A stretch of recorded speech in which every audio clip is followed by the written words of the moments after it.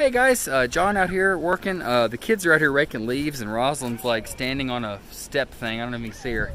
She's being a complete nut, but I wanted to show you guys my greenhouse.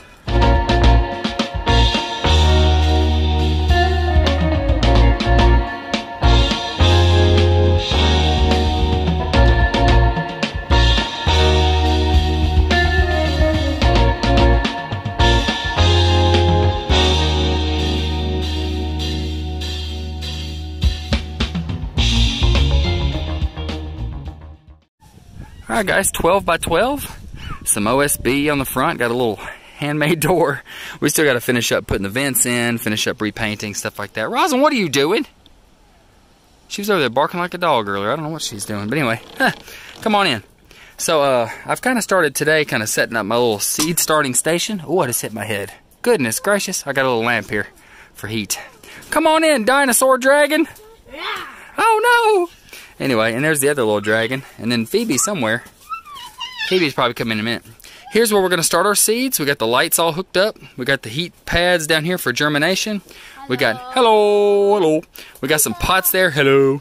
We got some uh, fertilizers, racks, more lights. We got all kind of stuff stored in here. Nothing of super value. But, uh, and here's another rack back here for doing more seeds. So I still need to put a fan in. I got to put the vent in. There's a lot of work we got to do. Hey, Phoebe, what's up? But, um, it's, it's almost there. It's getting there. What are you doing? I did want to showcase right here on my little thermometer. It is 74, 72 degrees, something like that. 72 degrees, and it is hot in here, y'all. It is super hot.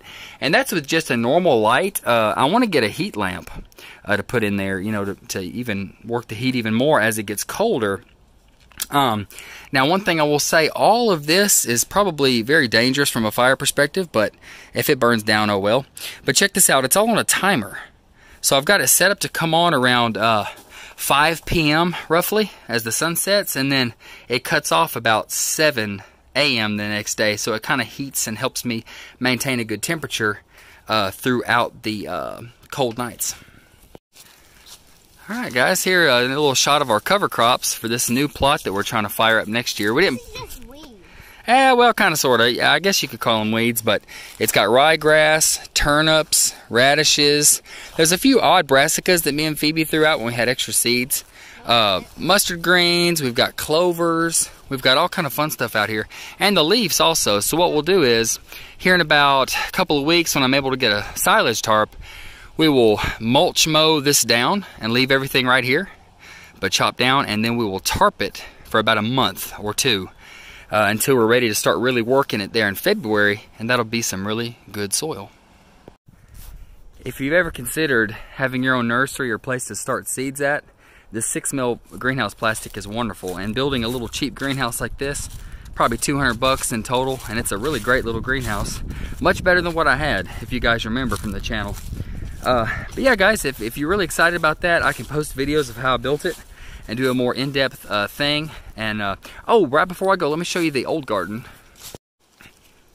Alrighty, guys, this is our first garden that I did with watermelons, if you guys remember. And uh, of course, it's got a lot of leaves on it, but you can see some of the old debris or residue of old crops from peas, beans, beets, uh, kohlrabi, kale that's still growing, cilantro that's still growing, carrots that are overwintering real nice, our garlic is starting to pop up for next year's season. Our radishes are still there, but we just haven't picked them yet. So it was a big experimental thing, and I really enjoyed doing it. Uh, so next year, we'll probably tarp this. Once we tarp that and get it going, then we'll come back over here when we start tilling that up and working it. Is hey Phoebe, what's up?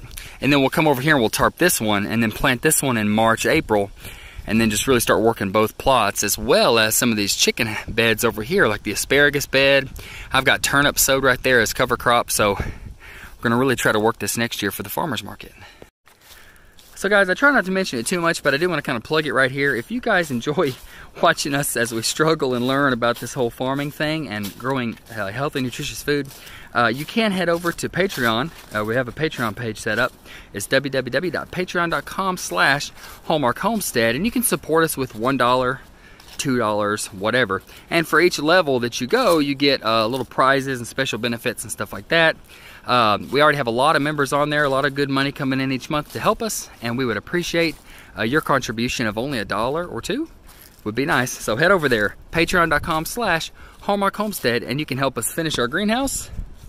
You can help us get the tarps for both of these plots, along with our compost for the upcoming year, our fertilizers, all that good stuff, because we are trying to do everything as organically as we can to offer Lawrence County a really good uh, bit of produce and stuff like that. So thank you for watching this. Hopefully it wasn't too long. Hope you guys have a great day.